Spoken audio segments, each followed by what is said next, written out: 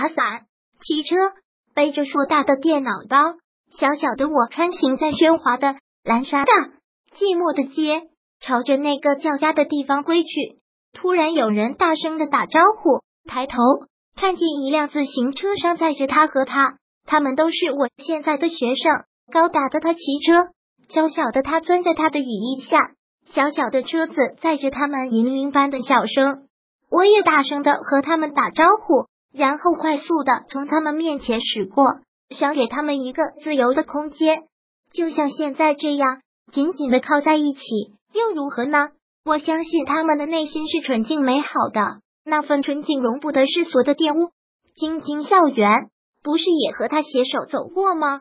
有人说我们是情侣，我们笑，不做任何解释。我们知道我们不是，我们只是好朋友，很好的朋友。血液，大街，拥抱，告别。他说：“一切都结束了。”我说：“美好的回忆留下了。”这一刻，他是真诚的。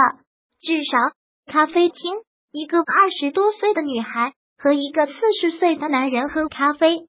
朋友目光怪怪的。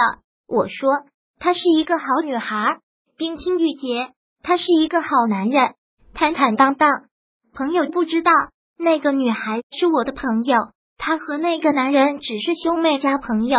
他们之间的一切都是美好的。假期旅行，我们透过车窗看见看见一个风度翩翩的老男人挽着一个妩媚漂亮的姑娘。都说又一对不敢归家的鸳鸯。我说，也许他们是父女，为什么可不以呢？是的，这个世界有污者肮脏，不过并没有完全丧失纯美啊。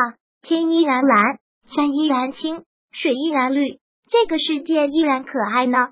相信那些美好吧，依然的。如果喜欢本视频，请分享并订阅本频道，访问 T T News 点 X Y Z 获取更多相关资讯。